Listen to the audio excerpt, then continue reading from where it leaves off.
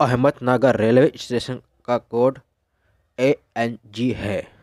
Ahmednagar railway station भारतीय राज्य महाराष्ट्र में अहमदनगर ज़िले के अहमदनगर में कार्य करता है। इस स्टेशन की स्थापना अठारह सौ अठहत्तर में की गई थी। इस स्टेशन के कुल दो प्लेटफॉर्म है।